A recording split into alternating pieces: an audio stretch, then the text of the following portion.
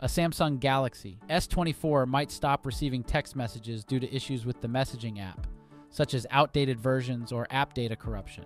If you have a problem like this, the first thing you have to do is check if it's a network or reception problem. Just check the network bars on the upper right corner of your screen. If there are few to no network bars, move to a spot with a stronger signal.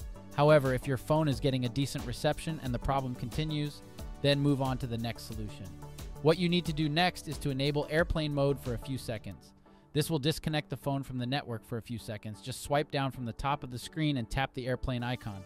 Wait a few seconds and then tap on it again to disable it back. After that, try to see if you can now receive text messages because if not, then reboot your phone, as it can clear any temporary software bugs that might be preventing you from receiving text messages. To do it, press and hold the power and volume down buttons for a couple of seconds. When the options show, tap on the restart option and then confirm it. Now wait for the phone to finish restarting and try to see if the problem is fixed or not. You should also clear the cache and data of the messaging app you're using, as it's possible that the problem is just due to a minor app issue.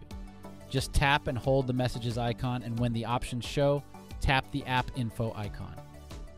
On the next screen, tap storage, then tap clear cache, and follow it up with clear data. This will reset the app.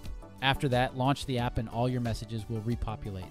If the issue persists, then you have to call your carrier as it can be an account or network related issue. We hope this guide can help you. Thanks for watching.